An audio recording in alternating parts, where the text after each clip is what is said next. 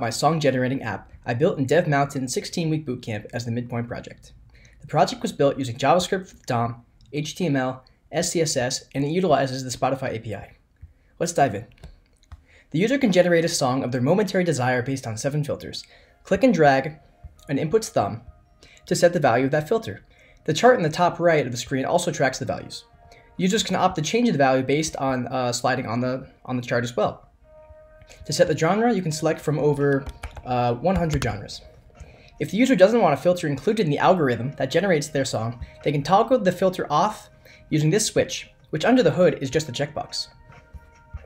The slider turns gray, the thumb no longer moves, it's static. While the filter is disabled, the chart is also given the instruction to be disabled and static. So as you can see here, as I'm clicking and dragging, the meter cannot be adjusted. So let's do a demonstration.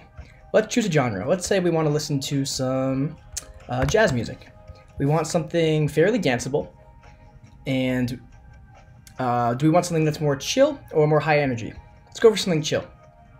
Are we looking for something more melancholy or more euphoric and positive vibe? Let's go for a medium happy positive vibe. The acousticness filter determines whether the instrumentation is acoustic or electronic. Let's say we don't really care either way, so we toggle it off.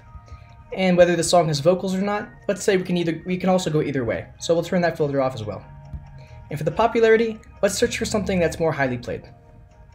Navigate to the new song button and the song generated based on our exquisite taste was Body and Soul by Coleman Hawkins. You can see that the album name also displays, as well as the album cover. Here's a link that if we click it would open a new tab and, and open Spotify to, if we wanted to listen to the whole song.